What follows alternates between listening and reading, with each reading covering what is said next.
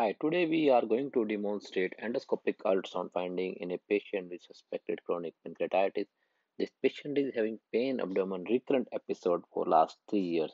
So we are going to perform EUS in this patient. In this patient, we will focus on imaging of pancreatic duct. We will explain a simple method to focus directly on the pancreas. First, we enter inside the stomach. Our scope is in proximal stomach. So on the left side, if you see the endoscopic image, on the left side is the greater curve. On the right side is the lesser curve. Anteriorly is anterior wall, posteriorly is the posterior wall of stomach. Pancreas lies close to that angle and we know that pancreas is posterior to posterior gastric wall. So near that angle if we rotate scope clockwise through the posterior gastric wall, we can see the pancreas. Here we can see pancreas with dilated duct. So we want to rule out any obstructing lesion like stone, stricture or mass inside the pancreatic duct. This central anechoic structure is pancreatic duct. We can see our arrow is on the pancreatic duct. Here we can appreciate that pancreatic duct is falling down. It indicates that we are close to junction of neck and head of pancreas. From this location, if we take a clockwise sweep by our left hand, we can go towards pancreatic body and tail. Here we can see pancreatic duct is dilated. Left kidney indicate junction of pancreatic body and pancreatic tail. If we rotate scope further clockwise, we can see pancreatic tail region. Below pancreatic tail, we can see spleen.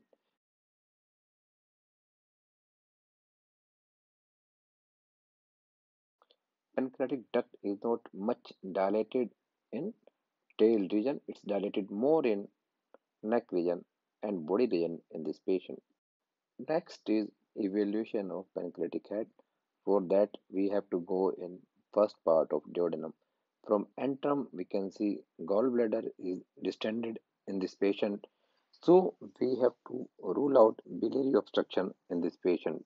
So we go across the pylorus into first part of duodenum that's pyloric ring. We go along the upper lip of pyloric ring and enter inside the first part of duodenum. Sometime in patient with chronic pancreatitis, duodenum is deformed and it's tricky to enter duodenum.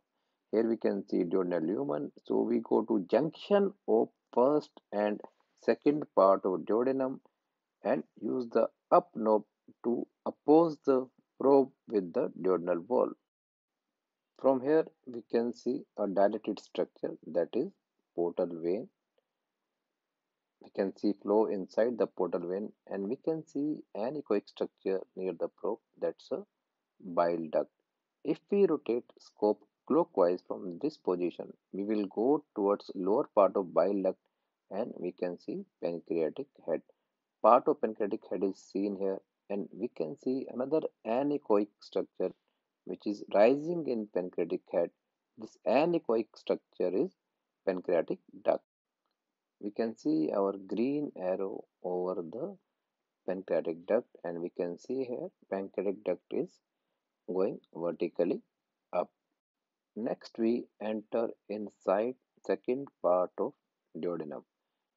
We go close to papilla and suck all the air and fluid inside the duodenal lumen then we use the up knob to touch the probe with the duodenal mucosa. After that, first rotate scope anti-clockwise, then give a clockwise torque. With the clockwise torque, we can see two large vessels. One vessel is close to probe, other is slightly away from the probe. The vessel which is close to probe is IVC and from IVC if we rotate scope clockwise we can see aorta so here we can see IVC and aorta IVC is in upper part and aorta in lower part of screen. From aorta if we pull back scope slightly 5 to 10 mm and rotate scope clockwise, we can see part of pancreas. Here we can see pancreatic uncinate process. So we can see part of pancreas with anechoic structure inside. So we will study these structures in detail one by one. Here our scope has fallen back inside stomach. Sometimes it's difficult to keep scope in second part of duodenum. So we will go again in second part of duodenum. From junction of first and second part, we pull back. That will take us towards second part of duodenum. Again, we can see a vessel. This is aorta From aorta if we rotate scope clockwise, we can see pancreatic head. Now, close to probe, we can see a anechoic structure which is horizontal, likely to be bile duct. If we rotate scope clockwise from bile duct, we should see another duct that is pancreatic duct. So here we can see a dilated pancreatic duct and we had a very good finding here that we will discuss in detail. Here we can see bile duct. Here we see an anechoic structure running parallel to probe. This structure is bile duct. So once we rotate scope clockwise from bile duct, we should see pancreatic duct. In this patient, when we are rotating clockwise, we don't see any ductal structure. Further clockwise torque, now we can see there is some ductal structure. So we can see union of two ducts. One duct is duct of uncinate from left side which is joining with the main pancreatic duct on the right side and they are forming a larger duct and which is ascending vertically and opening at the minor papilla. So the main duct is not opening at major papilla, it's opening proximal to major papilla at minor papilla. Again, this is bile duct opening at major papilla. If I rotate scope clockwise, we don't see any ductal structure. Further clockwise, we can see now two ductal structures which are joining forming a larger duct and it's passing through the minor papilla. Again, we can see union of two ducts which is rising vertically. Please see this area carefully. Again, bile duct and rotate clockwise no duct further clockwise union of two ducts forming a larger duct which is ascending vertically and going through the minor papilla and we can see even the duct close to minor papilla is dilated so this suggests this patient has likely pancreas divisum as main duct is opening separately at minor papilla. Now the next step is to trace the duct opening at minor papilla to pancreatic body and tail. Here we can see this duct is horizontal duct and it's close to probe. So that anechoic structure close to probe is common bile duct. From common bile duct, when we rotate scope clockwise, we see another anechoic structure. Again, we see union of duct of uncinate and the another pancreatic duct which is forming a duct which is opening at the minor papilla.